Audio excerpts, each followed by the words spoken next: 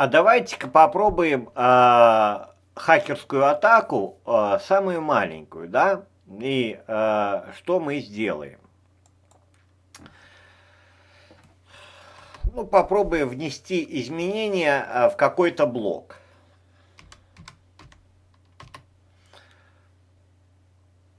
Чтобы нам было читабельно, вмешательство извне. И а, попробуем, а, вот у нас есть блок 3, мы попробуем, что а, сымитировать ситуацию, что хакер подключился и получил доступ к транзакции, то есть а, к транзакции, но сумму он не знает, сумма зашифрована но тем не менее, по сути дела, да, к аккаунту подключился, да, но сумму не знает. Значит, давайте попробуем это сделать.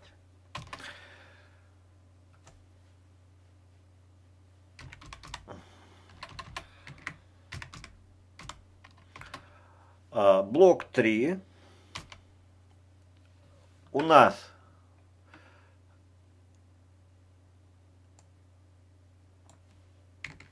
транзакции,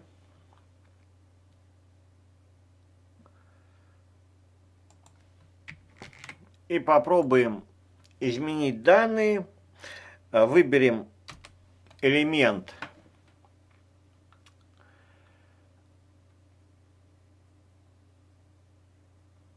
начинается с нуля, выберем элемент 2, то есть это будет 1, значит, да, то есть 0, 1, 2, 3, 4. Извлечение по срезам повторяем, да.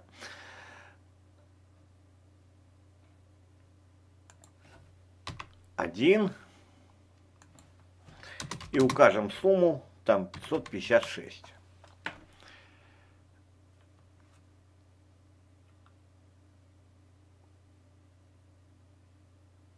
И а, попробуем вот что сейчас делать. скопируем. Попробуем сформировать блоки, да?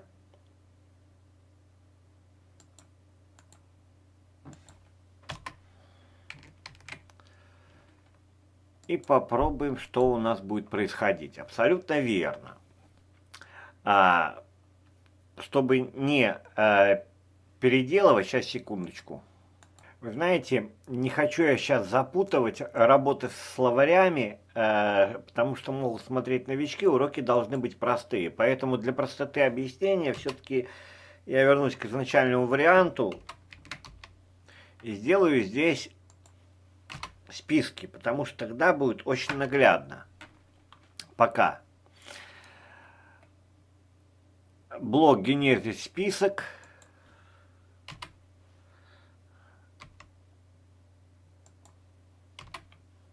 а вы уже там поработаете. Так будет нагляднее, чтобы не запутывать. Я боюсь, что материал не был сложнее, чем может быть. И вот теперь вмешательство извне. Значит, нам просто будет очень э, показательно, да? Э, давайте по попытаемся э, провести вмешательство в тот же блок 3. Блок 3. Вмешиваемся. Хотя вроде как словарь у нас э, уязвимый.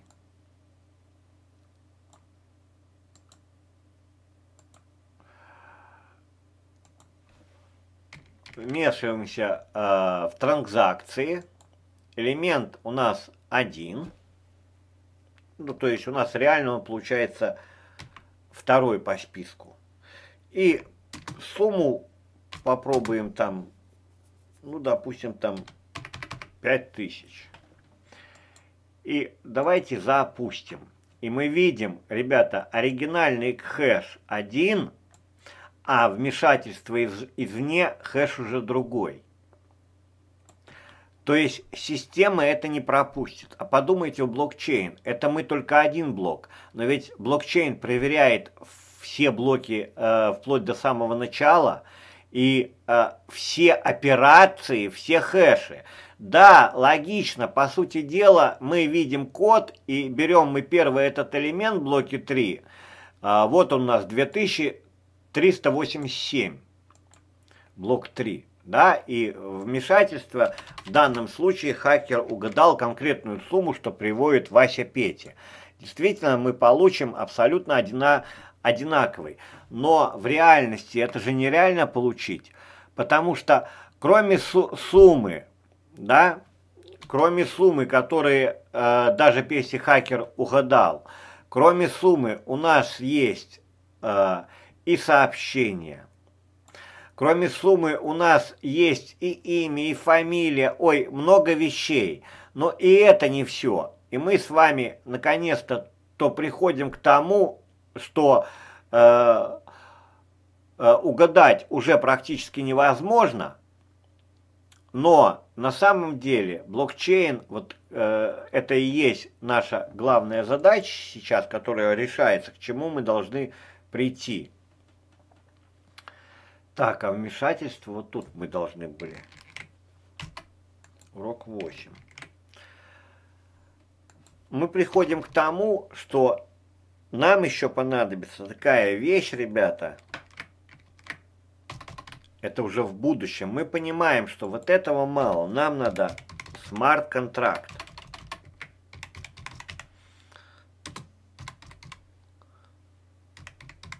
То есть умный контракт. Допустим, в эфире он полностью реализован. А теперь э, я хочу еще ваше внимание направить на две вещи, которые нам понадобятся. То есть, во-первых, э, смотрите, в данном случае мы писали блоки вручную.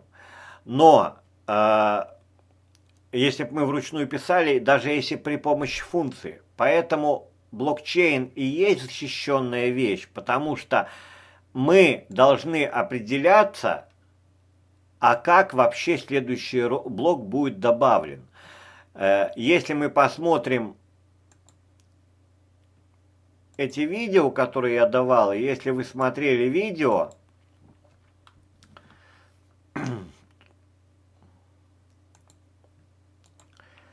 то есть первую часть, да, то мы там пришли к тому, что, а, допустим, биткоин делает математическую гонку, которая называется майнингом, да, то есть объясняли. То есть именно формирование следующего блока э, при помощи майнинга.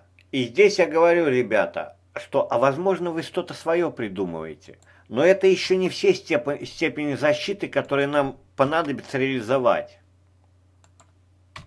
Нам э, надо реализовать, э, чтобы вся сеть, ведь э, доступ к блокам имеет все, согласилась. То есть условия согласия. Сейчас мы это не будем делать, но на заметку себе возьмем, что блокчейн – должен иметь согласие, чтобы каждый, каждый участник сети был согласен, что действительно транзакция не взломана, да, она проведена честно, то есть прописать условия согласия.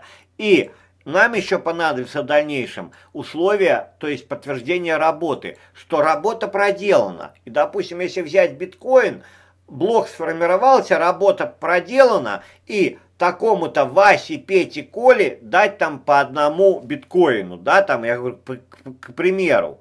То есть работа подтверждена, такие-то люди. Этот вопрос тоже сегодня стоит ребром. Почему? Потому что тот же биткоин каждые 4 года сумма майнинга, она будет уменьшаться. И дальше придется придумывать нечто другое. В любом случае это будет развиваться. И как это будет? то есть подтверждение работы. Э, можем подвести короткий итог. В данном случае мы с вами написали код, использовали знания, которые ранее мы применили. Те, кто новички, я говорил, начинаете изучать Python, да, и все работаете потихонечку и здесь, потому что я стараюсь объяснять подробно. Мы с вами вручную создавали блоки, мы с вами блоки серия али серия ой блять обсерились грубо говоря.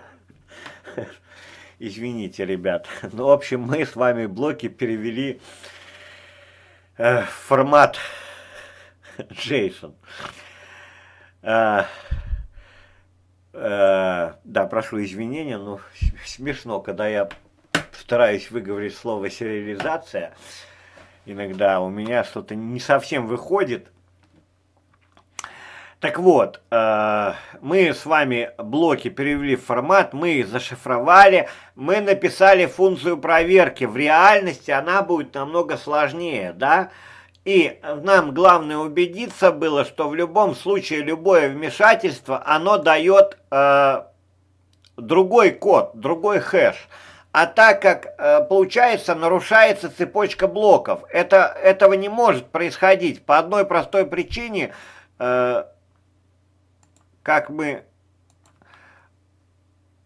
ранее с вами рассматривали блокчейны, это вы уже должны представлять, что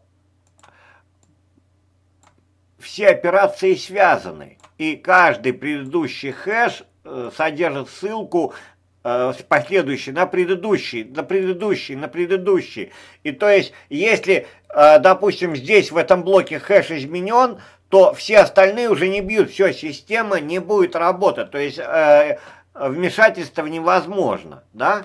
Поэтому блокчейн на сегодняшний день самая защищенная система. Но э, цель мы э, с вами достигли. Э, ребят, я вас э, приглашаю дальше спокойно развиваться в школе блокчейн, в школе Python. Мы будем с вами применять, блокчейн веб, на мобильных приложениях. Принципе, наша цель и есть для, для мобильных мы э, работаем с Kotlin, это другая школа.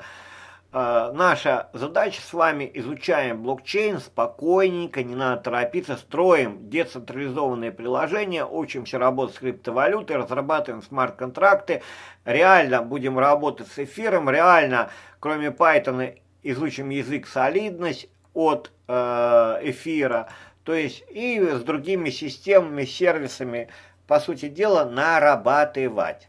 Ну, я думаю, работы хватит. Для вас, кто посмелее, ребят, домашнее задание. Э, вы должны э, блоки переписать в функции. Один. Домашнее задание первое.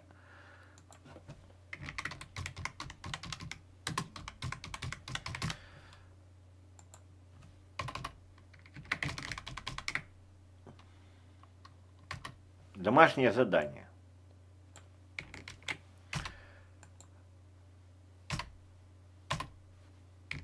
Значит, э, первое. Переписать блоки. Это шаг один.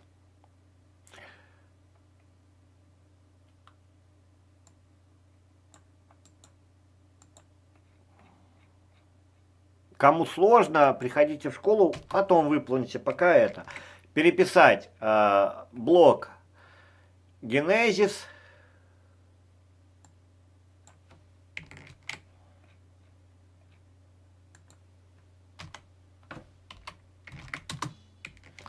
блок 2 и блок 3 в функции.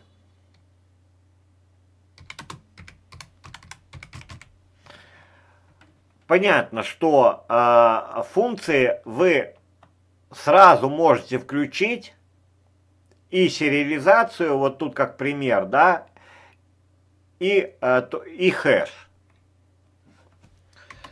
В функцию включить сери, сериализацию и хэш. Все, это первое. А вторая часть задания, это уже для участников школы. Переписать в класс. То есть, по сути дела, это у вас будут методы, а мы занимаемся, и те, кто в школе, значит, руководствуемся этим разделом, практика Python OOP, здесь вы подтянете функции, то есть поработайте, ребята, школы, да, но а, вы должны, все это вы умеете делать, переписать в класс. Я уже не даю задания, э, это уже в школе дальше будем учиться, э, когда мета-классы, то есть э, на автомате что делать. Пока просто перепишите в простой класс и вызовите, чтобы в конце концов а, а, на выходе вы должны показать то же самое. Оригинальный хэш и вмешательство извне на выходе. На выходе показать то же, что и мы. Оригинальный хэш и вмешательство из, извне. Э, кто сделает вот это задание, да, э, обязательно пишу видео, ребят, но э, сделайте, понапрягитесь, это интересно. Все, ребят, спасибо. Ну, и для совсем новичков, ну, во-первых, видео, сейчас я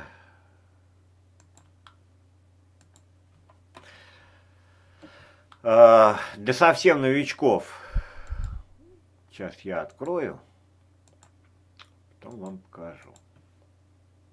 Для совсем новичков, повторяю, ну, во-первых, ссылка, ссылки все необходимые на страницу, где э, это происходит, где эти курсы вы получите в описании видео, это на эту страницу. Второе, я вас приглашаю в школу, берите, занимайтесь. Кто не знает Python, обязательно работайте со школой spb-tut.ru. Здесь у нас многопрофильное программирование, потихонечку э, мы с ребятами работаем и с мобильными приложениями. Это у нас сайт Kotlin, да, где мы работаем с мобильными и в принципе тут, как мы видим, мы тоже будем потом включать блокчейн да, для мобильных приложений. Это все очень интересно. Но сегодня стоит вопрос вообще въехать в блокчейн, потихонечку к нему подойти, подготовить себя, начать работать с эфиром, с другими библиотеками. Поэтому, ребят, все получится. Глаза боятся, а руки по клавиатуре раз, раз, раз, сегодня, завтра по шажку, все получится. Ребят, запомните, все получится, обязательно получится. Прочитайте, вот эти статьи, которые предлагали, хотите стать программистом, и есть очень простые примеры. Вот на тот, вот, допустим, вот я сейчас приведу, да, там, это с 17 -го года в основном начали приходить, вот, человек пишет, э, учился в школе, сегодня работает в банке, хотя два года назад носил там телефоны, да, школа стала стартом.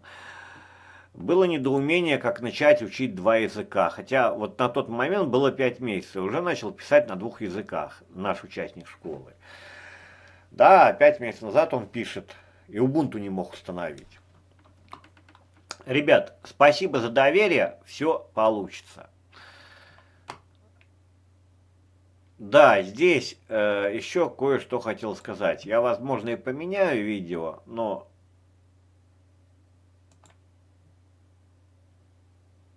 Так, о школе, да,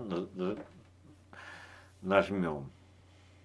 Обо мне, да, вот здесь, возможно, сейчас видео я добавил для другого сайта, но здесь я рассказываю именно о вас, да, не о себе, а о вас. То есть, как начать программировать, как не бояться. Еще раз говорю, ребята, глаза боятся, руки делают. Все получится.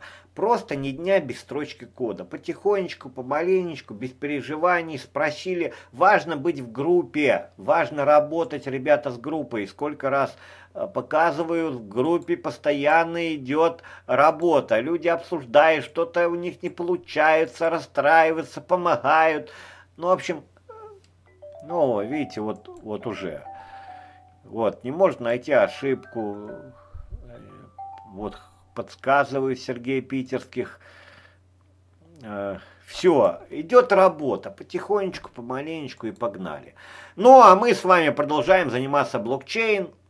Я думаю, дальше уже будем продолжать в платных курсах далее тоже простые вещи, потом к серьезнее, к серьезнее, к серьезнее, и смотришь ты овладеем. Спасибо.